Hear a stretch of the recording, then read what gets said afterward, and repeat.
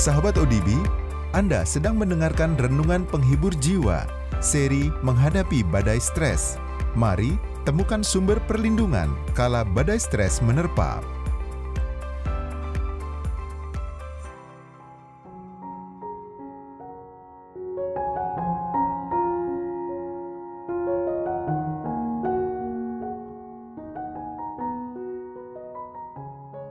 Seri renungan penghibur jiwa ini berjudul Mewawancarai Tikus.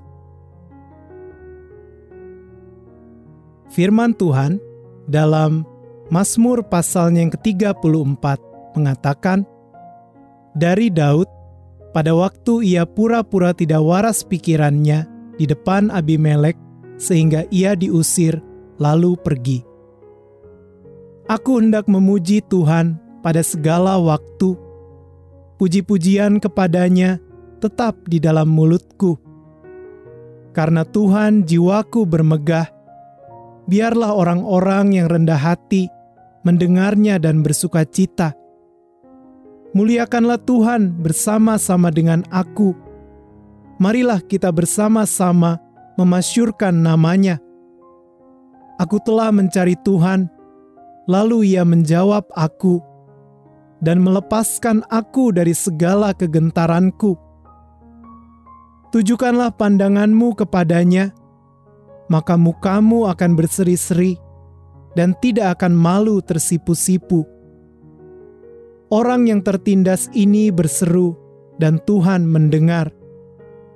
Ia menyelamatkan dia dari segala kesesakannya. Malaikat Tuhan berkemah di sekeliling orang-orang yang takut akan Dia, lalu meluputkan mereka. Kecaplah dan lihatlah betapa baiknya Tuhan itu. Berbahagialah orang yang berlindung padanya.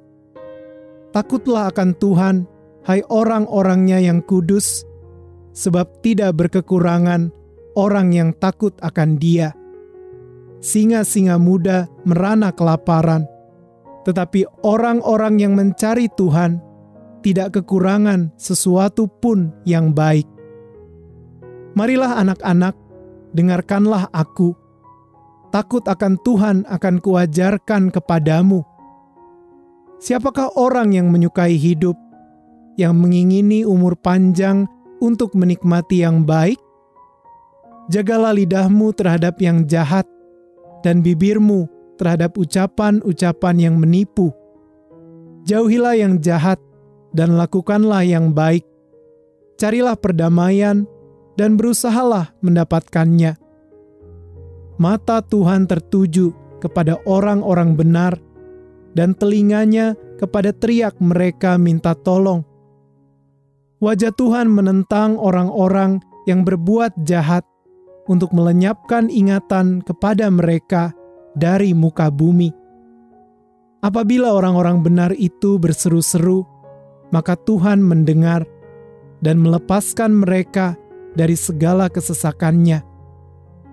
Tuhan itu dekat kepada orang-orang yang patah hati, dan Ia menyelamatkan orang-orang yang remuk jiwanya. Kemalangan orang benar banyak, tetapi Tuhan melepaskan dia dari semuanya itu. Ia melindungi segala tulangnya, tidak satu pun yang patah.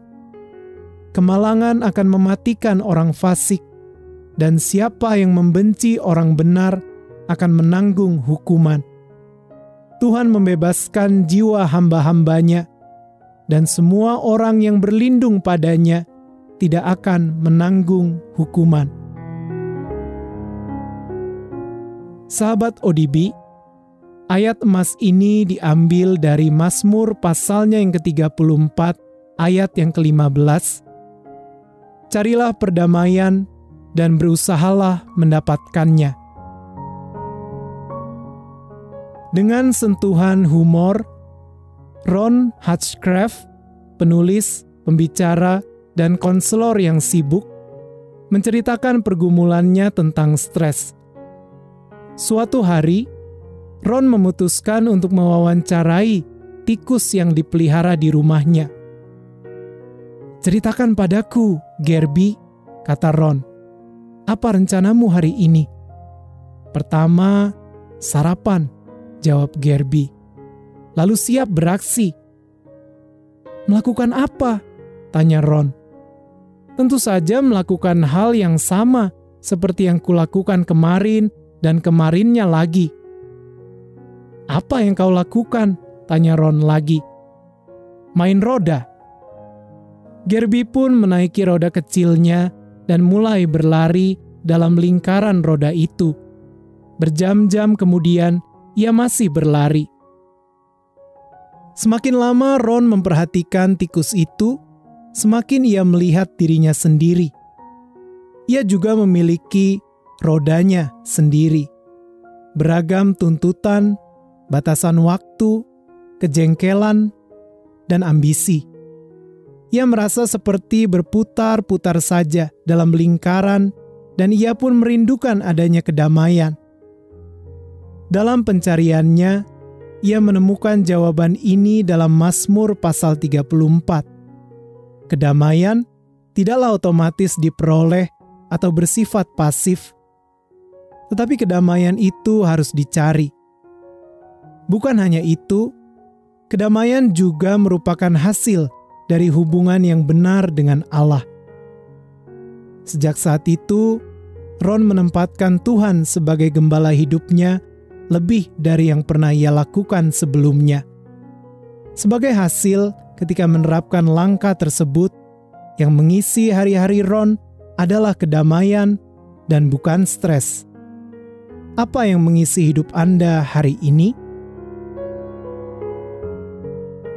Sahabat ODB, untuk mendapatkan damai kekal, utamakanlah Allah. Terima kasih sudah mendengarkan renungan penghibur jiwa dari Our Daily Bread Ministries. Untuk berlangganan renungan kami, silakan daftarkan diri Anda melalui situs santapanrohani.org. Pelayanan ini didukung oleh persembahan kasih dari Anda yang memampukan kami untuk menyampaikan hikmat Alkitab yang mengubahkan hidup kepada lebih banyak orang. Tuhan memberkati.